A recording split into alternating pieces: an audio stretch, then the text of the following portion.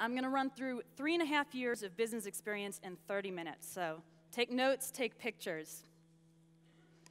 A little bit about me I'm from the US, and now I live in Brazil with my husband, who is there. And if any of you are taking the cruise to Salvador, drop me a line, because that's where I live.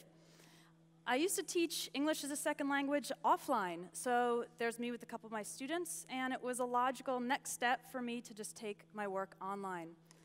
And I'm passionate about capoeira, which is an Afro Brazilian martial art and dance. I will not do a cartwheel, I'm not appropriately dressed, but there's me upside down. EspressoEnglish.net aims to teach English to busy people through ebooks and online courses. The lessons are short and sweet. And you can see that it has grown. What you don't see is the six months of zeros that preceded this graph, okay? So just imagine like a flat line on the left. As you can see, there was really no moment where it kind of just took off. It was just kind of a long cycle of continuing to work, improve, and learn and do better. And so I'm going to share some of the things I learned during this process with you guys today. I'm going to cover three areas. One is audience building. So if you're just getting started, this is the one for you. Next one is course creation and launch. And then finally, if you've already got an info product on the market, 10 strategies for growing it and scaling it. But first, I wanted to address a concern that some people have, which is information overload. You know, some people say that we have the internet, information is out there, it's free. Why should anyone buy a course? You can't sell courses now. But the self directed e learning market was worth nearly $36 billion in 2011, and I couldn't find a more recent stat, but it's apparently growing globally. So if you have the skill of teaching and of making complicated information easy to understand and getting people results, there's absolutely room for you in this market. And my perspective is that the larger the ocean of information, the greater the need for a guide. And as a teacher, you are that guide. So even though you can find almost anything on the internet out there for free, people want to be guided through it. They want to be taught. Um, so don't let that hold you back from trying to sell ebooks or online courses. So let's start with audience building or finding your potential students keep in mind that people buy courses from people who they know, like, and trust. So as you're building your audience, you're getting more numbers of people, you want to build a relationship with your audience. People have to know you, like you, and trust you. They're not just numbers, they're not just statistics. So let that guide all of your actions as you're building your audience. Now, there are two main ways to get traffic. One is what I'll call publish and hope which is blogging, YouTube, podcasting, and social media, and you just kind of hope that people magnetically flock to your site. And the other method I'm going to call go out and get them. So that is guest blogging, appearing on other people's podcasts, joint ventures, advertising, participating in forums, even cold contacting, and any previous customers or clients who maybe you've worked with before in other capacities. Um, this gets you in front of your potential customers much faster. And I recommend actually doing things from both columns. You should absolutely, in the beginning, try to partner with people who are already talking to the audience who you want to talk to, and you should be developing your own content so that when those people come to your site, uh, they can delve into your archives and um, learn a lot from you. Now, what did I did, do? I kept publishing and hoping. I did not do anything from the second column. And nowadays, Espresso English has over 300,000 visitors a month, but as you can see, it took a long time to get there. I mean, it's virtually flat in the beginning. And if I could go back and do it over, I would have done more guest blogging, partnerships, joint ventures, anything to kind of speed up that process. I would have done things from both of those columns that you saw on the previous slide. So this was a very long haul, and there was a way to speed it up.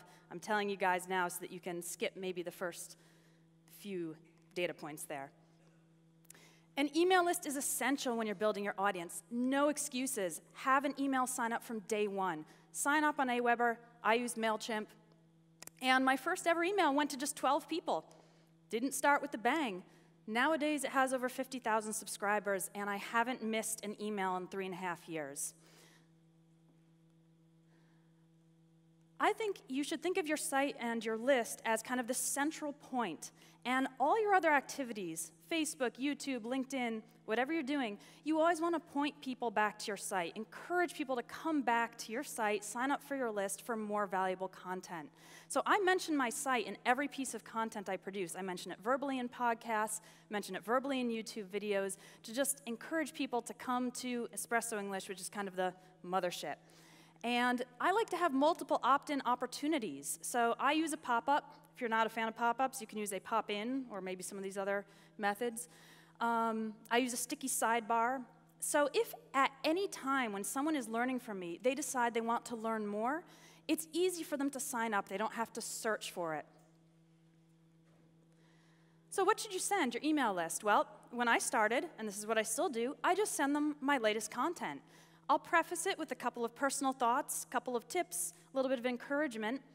If you don't have any content that you've published recently, people also appreciate receiving a curated roundup of links. So maybe you didn't publish anything new, but you know of four great articles in your field that your audience would appreciate.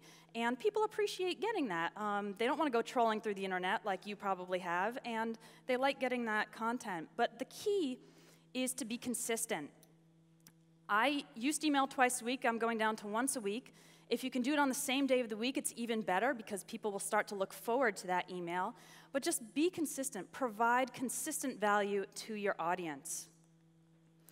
And take the opportunity to deeply engage with your list while it's still small. So I've got 50,000 people now. I can't get on the phone with all of them. But when your list is just 12 or 20, you can call every single one of those people. You can do a free Google Hangout.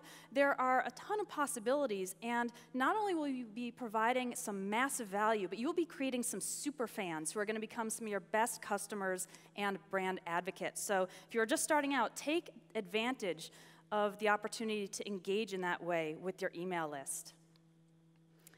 All right, so you've got a little bit of an email list going. Now you want to get paid for your expertise by launching, creating, and launching a course. What topic to teach? Well, you probably already have ideas, but an even better way is to ask your audience what they want to learn. So you'll notice that some of your content is more popular than other content. That's a clue. You can survey your audience and ask them directly, what would you guys like a course on? And I also do a what's your biggest difficulty email. The first email that someone gets from me asks, what's your biggest struggle in learning English? And I encourage them to reply. I reply to those replies, but this kind of helps me keep my finger on the pulse of my audience and know what needs they have, which I can then serve with online courses. But don't get too hung up on the perfect topic or angle, okay? Some people try to be really unique and it has to be different from everything that's ever been produced ever. You can always tweak your topic later after you get feedback, maybe from your first group of students. How big an email list should you have before you try to launch something? A couple of guidelines. I recommend having at least 100 people, preferably 1,000, but I've seen people do great launches with smaller lists. But the key is who you've been regular, regularly emailing and engaging with. So it's really the engagement of the list that matters much more than the size. When I launched my first course, I think I had 1,700 subscribers, and I'll tell you how many actually bought it in a minute. But first, a quick mindset check. We all know that the expectations sometimes don't live up to the reality, as anyone who's had a website emergency knows. Um, if you launch your first course and the numbers are small, that does not mean that the launch was not successful. And I fell into this fallacy because when I first launched, launched I launched to 1,700 people. 100 people started to sign up, and most of them didn't finish. The number of people who actually finished the sign up and paid was 17. So I thought that was terrible and a bad sign, and clearly my courses were crap and nobody would ever buy them. That is uh, not correct thinking. Small number simply means it's a start which you can then learn from and improve on. And I'm so glad that Natalie shared some of her students' actual numbers. Usually, the first iteration of a course only gets 12 people, 7, 10, maybe 20. So sometimes when we read these case studies with these huge six figure launches, It's great, we can learn from them, we can implement the strategies, but don't compare your launch to theirs, okay? So if I had stopped at 17, I would not have gotten to the point where Espresso English is now a full time income for myself and my husband. Some people wonder if you're selling content and you're giving away content, what, how, to, how do you make the distinction between the free stuff and the paid stuff? Here are a couple of guidelines. You can give away less frequent content and charge for more frequent. That's the most logical idea. It's not always necessarily better. You might get burned out on producing a ton of content. You can charge for, or you can give away more general stuff, uh, which is still valuable, and charge for a more specific, detailed, really step by step plan. One thing I do is I give away a more basic format, so I give away five minute YouTube videos, and I charge for a more developed format, which is videos, transcripts, quizzes, homework, um, and kind of some more interactive elements, and give away some limited interaction with you, such as a little bit of email, maybe some blog comments, or a group um, uh, webinar, and charge for more interaction with you. If you're doing any sort of one-on-one mentoring, coaching, if you're looking over people's work, that should be part of your paid program. So I hope these things help show the distinction between what you might want to give away and what you might want to charge for. Now, I sold all of my courses through pre selling, namely, I put up a sales page, I sent the students to it, they paid first, and then I created and delivered the course in increments over time. And this was great because I essentially got paid to create my own products, which are then now selling over and over again. Now, two keys if you want to do this. One is you have to communicate very clearly with your students, so set the expectations. I told my students they would be receiving 30 lessons in 30 days, and they wouldn't get access to everything up front, it would be dripped out over the course of 30 days. And be certain that you can deliver. So you need to have a pretty strong work ethic, pretty strong self discipline. I recommend if it's your first time, take a week to create a couple of sample lessons so that you see how long it takes you to do each lesson. Uh, does it take you two hours to do a lesson or two days? You don't know until you try it. And um, try to get ahead. I've left lessons to the last minute uh, far too many times, but I will tell you it's the best productivity hack when you know you have students who have already paid for the course expecting tomorrow's lesson. So don't do that, try to get ahead. A brief word on pricing. The only way to figure out what people will actually pay is not to ask them, it's to put, them in, put the product in front of them and ask them to pay for it. And people will vote with their wallets, essentially. Um, people get hung up on pricing strategy. Just pick a price that's reasonable and is comparable to other products on the market. I started with a $30 course, for example. $30 for 30 lessons sounded good to me, and which reflects the value the student will get. So if it's kind of a basic course, maybe that's a lower price product. If it's something that's going to transform someone's life and career, then that should maybe be a higher priced product. And there is a good article on Medium called The Ultimate Guide to Price Strategy if you're interested in more of the technical details about the psychological details about pricing. Check that out on Medium. But just pick a price and put it in front of your, your potential students, and you'll find out whether it works or not. But you can double your sales with a deadline. So have a specific date when the price goes up, or the doors close, or maybe some bonuses that you're offering go away. Don't use all three, just pick one and go with it. I usually do the price going up, so I'll have a special early bird price. Once it goes up, uh, it stays open. I don't like to open and close my courses, uh, but it is a big motivation for people to get in at the early price. Be honest, don't use false scarcity. There are some tactics out there which can be very profitable, but which I'm not comfortable using that kind of trick the user into thinking there's some scarcity and always send a last chance email. It seems kind of cheesy, but it works, and I found that people appreciate a friendly reminder of the last chance to get the discount or the bonus. Um, and the last chance email is usually, usually responsible for 30, sometimes even 40% of my sales on a launch. And when I say double sales, I really mean double sales. So these were five consecutive launches that I did. The red ones had no deadline, and the green ones did. What's interesting is that these last two green ones, the price was actually three times the price of that red one, but it wasn't the price that drove the sales, it was perhaps the offer and the deadline. So having a deadline really does double your sales. There is no magical launch formula, but this is the one I like to use. I usually do it over two or three weeks. If you do a shorter one, a lot of people will miss it. And I'll have a coming soon email to build anticipation. Then I usually announce the course, and the people who will sign up at this point are probably your super fans, your biggest followers. I like to send a free sample so that people know exactly what they're signing up for. And if you don't want to send a free sample, you can also send a lesson list that uh, shows people exactly what they're going to learn, uh, how they're going to benefit, and it should whet the appetite for your course. I will send some related content uh, to keep providing value as well as inviting them to join the course. By this point in the launch, you'll probably have gotten some questions, and so you can send an email addressing common questions about the course. The purpose is to overcome objections, and then, of course, the last chance email to get those last minute signups.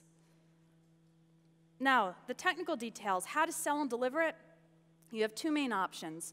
One is to do it on your own WordPress site with a plugin like one of these. You guys can look them up later. The other option is to use a third party platform like those. Don't get too hung up on this decision either. The important thing is to get your course out there and selling. And I'll just say this if you're reasonably comfortable with technology, do it on your own site. If you have the budget, hire someone to set it up for you. If you're clueless about technology and you don't want to spend any money, do it on a third party platform. Get it out there and selling, and then you can always migrate later. Now, about creating the lessons. The lessons are your most important task for the day, so do them during your best creative hours. It's very easy to get tied up in other little details and leave the lesson creation process until 10 o'clock at night when you're already kind of sleepy. Don't do that. Do them during your best creative hours, and I've found it helps me to use a standard operating procedure. So, this is what it looks like for me. Uh, I spent about an hour and a half researching and writing the lesson do some video slides, record the audio, put it together with the video, uh, write the exercises, set it up on WordPress, and schedule the email to go out. And it takes me without fail between four and five hours. Uh, so I know exactly how long I need to create a lesson. And of course, some of this could eventually be outsourced when um, I want to get that off my plate. But uh, this will just help you go through the process and not skip anything or not forget anything couple of best practices. I like to provide my lessons in three formats video, audio, and text so that people can consume it in whatever format they're most comfortable with. I recommend keeping your lessons short, usually under 20 minutes, and if you have a topic that is longer than that, break it up into a couple of different lessons. You should organize your lessons well and guide the student through them. Sometimes I'll include an introduction video which tells the student how to take the course. That might sound silly if you're a very highly motivated self-learner, but people actually appreciate having that guidance. Try to include some activities, quizzes, worksheets, uh, as well as some interaction with you. Maybe um, a Facebook group where they can ask questions, maybe uh, monthly webinars or something like that, but people like to interact with their teacher. And finally, don't forget to get feedback during and after your course, because this is what's going to help you make it better to be able to serve your students better and also sell more. This is my post course survey. I ask what exactly they liked, how it helped them. This is great material for getting testimonials.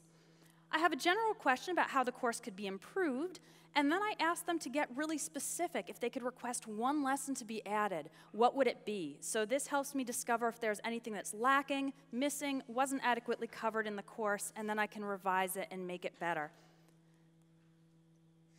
Okay, so you've got a course up, you've got your 17 students in the door. Now, how do you grow it? What next? I'm going to go over 10 advanced strategies for maximizing both your impact, your reach, and your revenue. I've done about six of these, and then four of them I'm still exploring myself. The first one is just rinse and repeat, create more products. Um, I would just keep asking my students, what do you want to learn about next? My first course was on travel, the next one I did was business, and I just kept going. So that's my full suite of products. And you will find that a lot of people who like your work will buy multiple things from you. And of course, you should get better at doing it every time. If you don't have one yet, you should set up an autoresponder, which sends people some of your best free content early in the email sequence. Provide a lot of value. And then invite people to go deeper by taking one of your courses. I struggled for a long time with selling, and I finally nailed my philosophy, which is that my paid product should be always present but never pushy. So, this is what it looks like in my autoresponder. Um, I have a little introduction. That's the free lesson 100 uh, answers to common English questions. And then, if someone wants more phrases, they can take the Everyday English Speaking course. That's a paid course. And then on the side, I have uh, buttons for each of my paid courses. So, there's always the opportunity to click. It's always present, but I don't use really high pressure sales tactics. I don't want to be pushy about it. And this seems to be a nice balance between providing content as well as encouraging people to go deeper. A third tactic is to add uh, an appetizer. Some people call this a tripwire. I like appetizer better. An appetizer is a small product, under $10, that's kind of a no brainer to buy. So what I use is two grammar books, which are actually just a compilation of posts from my site, uh, and audio for $1. So given the normal price of textbooks, that's a really good deal, and about 120 people every month take me up on that offer. That's a low-risk way for someone to become, to turn from a consumer of your content into someone who has paid a little bit and received even more value in return. It's a fundamental change in the relationship you've had, you have with that person. And of course, inside the appetizer, encourage people to continue and get the main course. Another tactic is to bundle products. I have one course which has two levels, and then I bundle them together, levels one and two. Someone can get a discount if they buy them both together. And I was really surprised when I ran the stats for this page. 80% of the customers choose the highest price option, which is why it's labeled most popular, because it is. And it's a win win because they are getting a bit of a discount, they're getting more material, and I'm also getting a higher transaction value. So you can bundle your products if you have more than one. Another example of bundling, I put all my products together into the complete program. It's just everything. If you want to buy everything on my site, you can do it for $227. It's a 35% discount. And when I first put this up, I thought no one's going to buy at that price point. My students, maybe they don't have a ton of money, they're not used to buying things online. But you'd be surprised, it's responsible for about 30% of my revenue. And I actually added something where I will, when someone buys this, I send them a USB drive with all the files downloaded onto it, and people have really appreciated that little touch as well. Another way you can grow is to raise prices. This makes a lot of people uncomfortable, but one way that you can become more comfortable with it is to actually improve the course, which you probably want to do anyway, and then raise the price. Of course, include a last chance for people to get in at the current price before you raise it. And you might be pleasantly surprised. People might buy even more at the higher price. Another way to raise prices is to offer a regular and a premium version of the course side by side. So maybe you have just the lessons for $50 and lessons plus um, webinars plus a consulting session for 150 or 250, when you put them side by side, there will always be some percentage of people that wants the top one. And people can kind of choose what best meets their needs. You can also implement a monthly membership. Uh, that can take the form either of a community, if your following is the type that wants to interact with each other, or a content subscription. This is what I've got going on right now. Somebody pays $20 a month and they get 12 lessons, which are different from the ones on the free site. Now, a membership is a bit of a hard sell. And your initial sign up numbers might be lower, but you should see some retention and greater customer lifetime value. When I launched my membership, it had half as many sign-ups as I expected, so I was kind of like, ah, I don't know if this was a hit. But four months later, 93% of them are still in the program. So that's obviously a good sign that they are continuing to receive value and they're happily continuing to pay for the subscription. A little bit more advanced, uh, if you can segment your list, in other words, gather some information about your email list. Are they beginners? Are they advanced? What is their reason for learning what they're studying? What are their interests? Then you can start to to send more specialized and more targeted emails that are really tailored to people's interests. And one thing that I use is I use triggered emails based on subscriber activity. So if someone clicked a course and didn't buy it, a couple days later, they get an email automatically with some more free content related to that course, as well as an invitation for them to ask me any questions about it. Um, so, based on their behavior, I can then deliver the most appropriate content via email, and that can all be automated. Once you have some traffic, you have some sales, you can also explore conversion rate optimization. The only thing I have to say about this is to make sure to test your messaging, not just the page format and the colors and the button placement. I really think that the message and the offer is really what hooks people to want to take a course, to want to participate and get that benefit um, out of the course. And a lot of people kind of skip over it, they just want to test the sales page format.